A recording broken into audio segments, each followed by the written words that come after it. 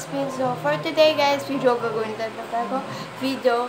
Yes, she, same shirt pa rin siya kasi ano, nag-shoot ako kanina ng Stay Awake Agad. Panoorin nyo na yun. Yes. Hindi ko sure kung ano yung unang ma-upload ko. Basta yon panoorin nyo na lang kasi mag-welcome back ulit ako. Yes! so, ang gagawin natin ngayon i-review ay Enchanted Academy Bundle. So, itong bundle na to is tatlo siya.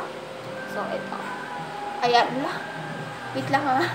Sisihin muna natin. Na, kasi mahirap yung kalaban. Nag-iisa lang ako dito, tapos tatlo yung libro.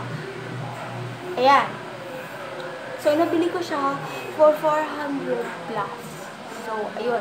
With my kasama siyang bookmark. Yes, may napapansin po ko yung bookmark dyan. Kasi hindi, po ko, hindi ko po po natatapos yung isang libro na part 3. And ito yung kasama niyang bookmark. Ayan. Tatlo yung binigay. Ayan. Same-same lang siya. Same-same. Sa life books, life books ko siya nabili. And ito yung, ayan, may pa-thank you pa. Ayan. From life books. So, ang nag-author nito ay si Joshua Lee. Si Joshua Lee, hindi ko alam sino yun. hindi ko alam. Wala akong idea kung sino yun. Nag, binili ko siya kasi maganda, nagandahan ako sa cover. Fantasy romance siya, yung genre niya. Yun. So, ito yung harap niya, side, and then likod. So, hindi, kung sino naman hindi mapapabili dito kasi tignan nyo naman siya, ang ganda ng cover niya. And pagkabukas mo guys, ayan na yung makikita mo. Ayan yung picture nila. And, ayan yung chapter 1. Tapos yung mga copyright kineme.